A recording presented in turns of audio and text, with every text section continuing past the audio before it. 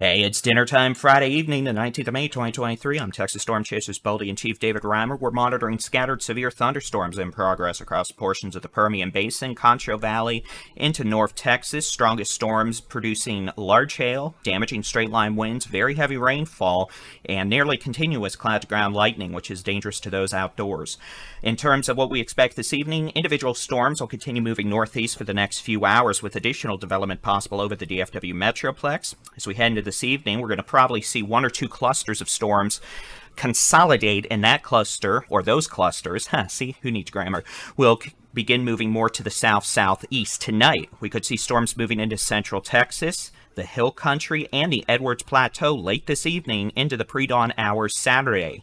Strongest storms could continue producing large hail, damaging winds, very heavy rainfall, and quite a bit of cloud-to-ground lightning. You can keep an eye on the sky with the free Texas Storm Chasers Interactive Weather Radar on our website, texasstormchasers.com slash radar, and in the free Texas Storm Chasers mobile app. We'll be keeping an eye on things. You do the same.